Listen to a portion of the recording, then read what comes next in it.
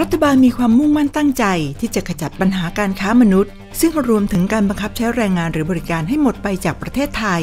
แต่ปัจจุบันยังพบว่าเจ้าหน้าที่ผู้ปฏิบัติงานยังต้องได้รับการพัฒนาศักยภาพ รวมถึงความสามารถในการระบุตัวผู้เสียหาย เพื่อการส่งต่อคดีไปยังหน่วยงานบังคับใช้กฎหมาย